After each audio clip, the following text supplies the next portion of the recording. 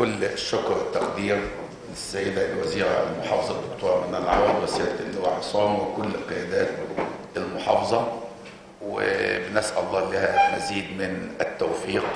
إحنا كلنا بنجتمع وبتتكامل أدوارنا في خدمة هذا الوطن والحقيقة إحنا عارفين يمكن ربما ظروف اللي اجتمعتوا في هذا التوقيت لكن آه، طلب إن في زيارة للمحافظة لابد أن نلتقي بحضراتكم. وبنقول لكم جميعا كل عام وأنتم بخير. وإحنا يمكن اللي بنأكد عليه دايما هو مسألة وسطية الفكر الوسطي.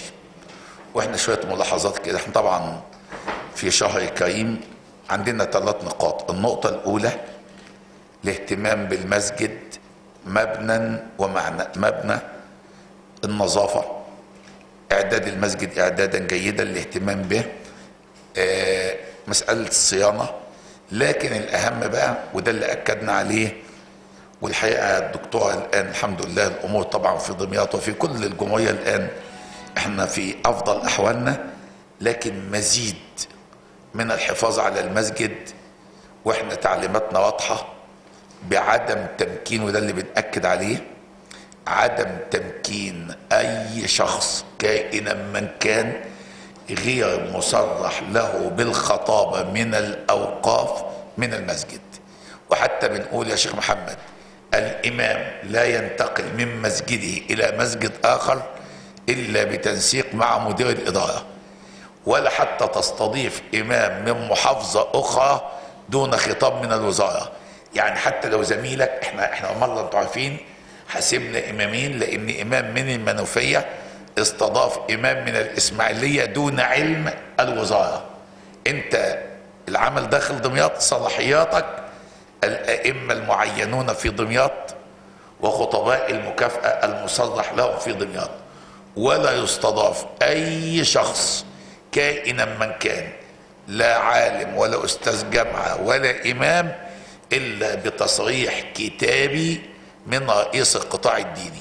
يعني أي حد يجي يقول لك بعد إذنك أنا أخطب الجمعة حتى لو كان أستاذك في الجامعة لأن دي لها نظام. طالما حد أنت صلاحياتك داخل محافظتك. المعينون عندك وخطباء المكافأة. ده بالنسبة للمحافظة. طيب مدير الإدارة صلاحيته في من هم على قوة الإدارة؟ من الأئمة المعينين ومن خطباء المكافأة المعتمدين. يعني ما يجيبش إمام من خارج إدارته حتى لو معين في الإيه؟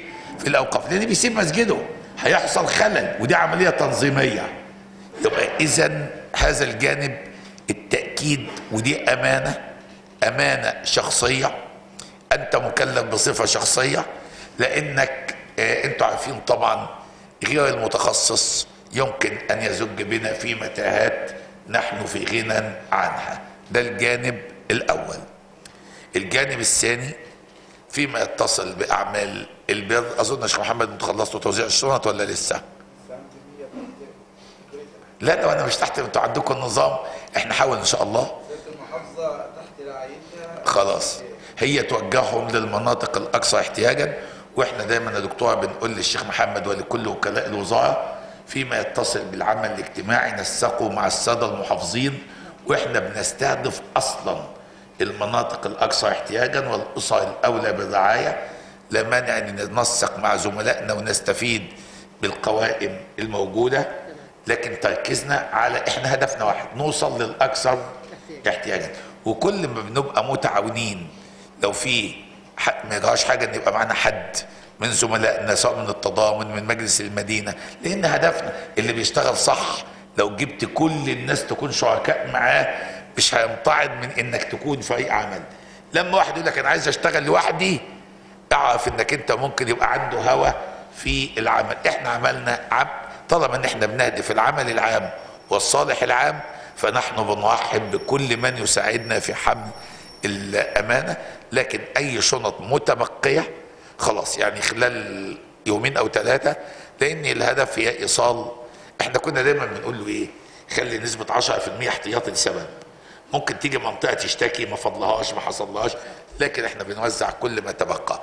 إحنا عندنا المشروع الأهم واللي إحنا بنحتاج يعني من الان تركزوا فيه والمحافظة معاكم مشروع صكوك الأضاحي. إحنا ده له عدة أبعاد. من ضمنها إن إحنا الحمد لله أول ما بدأنا في أول سنة إحنا جمعنا مبلغ 32 مليون جنيه. في العام الثاني وصل 48 مليون جنيه في العام الثالث وصل 64 مليون جنيه.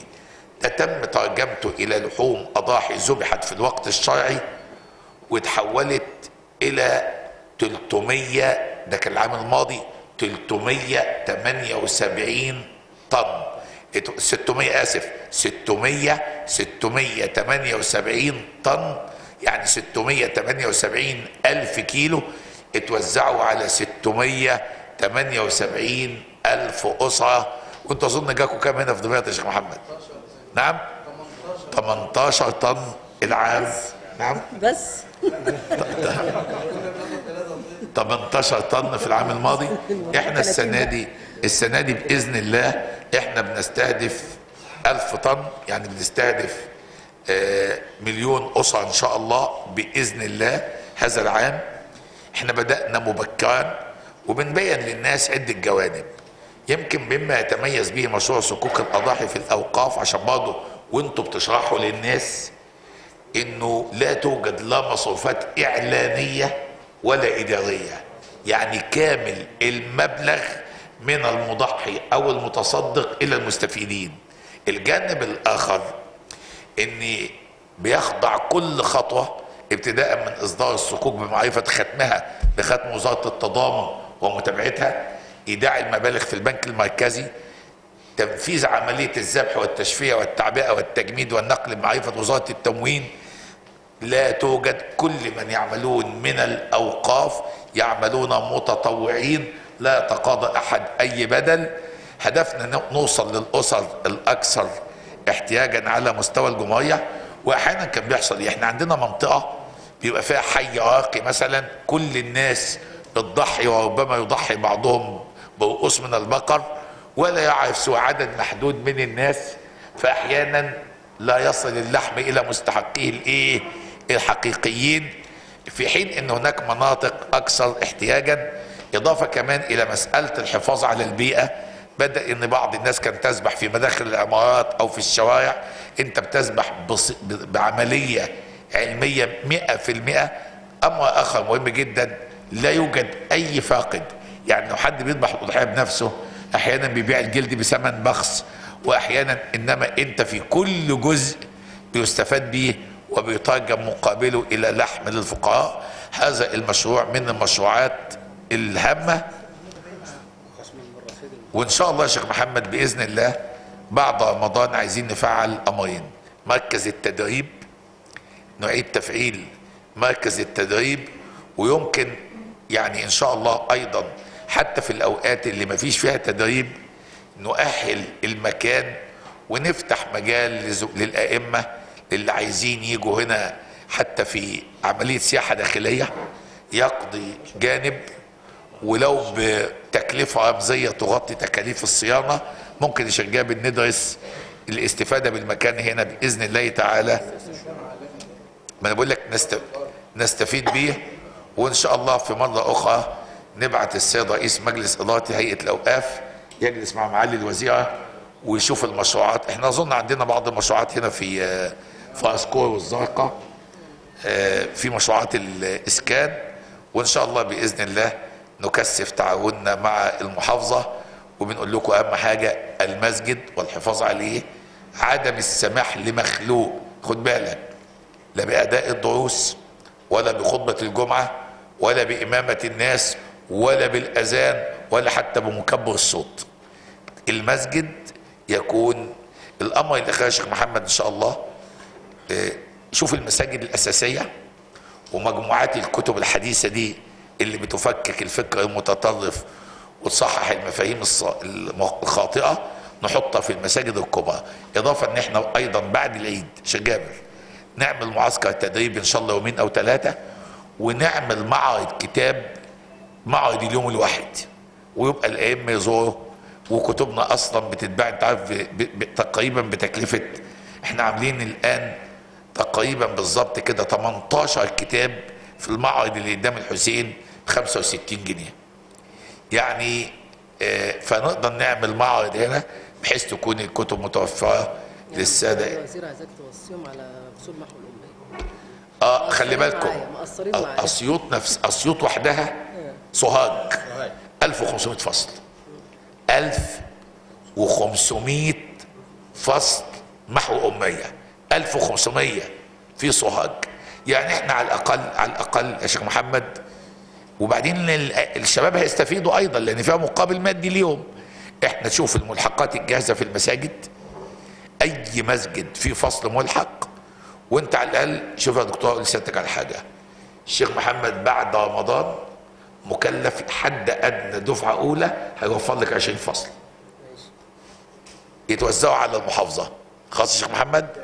خلاص. لا يعني ده كلام بقى تكليف مش كلام. زيادة على اللي عندك. ده يقصد زيادة على اللي عندك. انت عندك كام دلوقتي أنا عندي ستة بس في تعداد دلوقتي ل 20 شوف خلينا انت عندك ستة الستة دول في أول شوال بعد أسبوعين هتسلم معالي الوزيرة كشف بالأماكن واختارهم كلهم من الشباب. يعني اختار الأئمة من الشباب الجدد وإحنا أيضا اللي هيشتغل بجدية بجدية. إضافة إلى المبلغ اللي بيوصل في المحو الأمية إحنا ممكن نعمل اليوم حاجة تشجيعية. فأنت اختار عشرين إمام من الشباب من الأئمة الجدد أو من يرغب من الأئمة القدامى وإذا كان عندك جانب في المسجد أو ممكن في آه، لو ما فيش في المسجد يمكن يبقى في أي مكان بتخصصه المحافظة لكن حد أدنى أدنى. دفعة أولى عدد 20 وأهم من ده الانتظام والفاعلية. وأنا معالي الوزيرة يا ريت حضرتك برضه بعد ما يجهزوا حد بقى من المتخصصين في محو الأمية نعمل لهم دوره لمدة خمس أيام. لأن برضه خلينا واقعيين تعليم الكبار خبرات خاصة. يعني ممكن يبقى عندي إمام شاطر جدا ومتفوق جدا وممكن يبقى عندي مدرس ثانوي ماهر جدا. لكن تعليم الكبار مسألة خبرات. فاحنا حضرتك هيجهز العشرين بعد عطلة عيد ال ال- العيد غالبا بيبقى يوم يوم ثلاث غالبا أو أربع. الحد اللي بعد العيد ثلاثاء. الحد اللي بعد العيد نبدأ دورة حد اتنين تلات أربع خميس خمس أيام أو أربع أيام. والدورة دي سيادة الوزيرة هي اللي هترتبها مع المسؤولين عن تعليم الكبار. وانت وقع بروتوكول لأن هم في سوهاج برضه بيصرفوا مبالغ جيدة. يعني ال- الهيئة القومية لتعليم الكبار هي مخصصة مبالغ 300 يعني جنيه. 300 جنيه. يعني برضه ال- ال- الشيخ هيستفيد. فحد أدنى نبدأ ب 20 فصل بعد العيد. وال 20 دول دول الفريضة. دول الحد الأدنى يا شيخ محمد. لو أنت قدرت تخلي بالك اصل خلي بالك دول يعني خد بالك هي العملية بس مش فقط ليست فقط محو القراءة والكتابة. ده أنت تقدر تضعه على الإطار الوطني الصحيح. أصل هي النفس إن لم تشغلها بالحق شغلت بالباطل. الراجل اللي أنت هتجيبه وتقعد معاه شهرين أو ثلاثة أو خمسة هيتأثر بشخصيتك وباخلاقك وبسلوكك. وأنت فقط مش محو اميه ده خلي بالك ده أنت بتقوم له بمعالجة بعملية تثقيف شامل. صحيح أنت بتعلمه القراءة والكتابة لكن الوقت اللي أنت قاعد معاه أكبر من كده. ده جزء من رسالتك. وبالعكس انت بتوصل لطبقة ربما لا تصل إليها في المسجد أو في الخطاب المباشر فأنت بتوصل انت لو خدتها كرسالة وكأمانة وإنك تعلم بجد هنقدر نغير الناس. فناخد مجموعة محبة وإحنا أفضل مجموعة تشتغل إضافة إلى المكافئات اللي بتصرفها الهيئة العامة لتعليم الكبار أنا وسيادة الوزيرة معا معا. هنعمل تكريم خاص ومكافأة خاصة تشجيعية لأفضل الفصول أداء. آه يا جماعة الوزيره يعني انت أنت هتاخد ال 300 جنيه ده كل الناس أو المبلغ اللي بتصرفه. لكن وعد وعد. كل ما تتخرج دفعة إحنا هنعمل مكافأة تشجيعية لأفضل الفصول أداء. بإذن الله تعالى. إن شاء الله.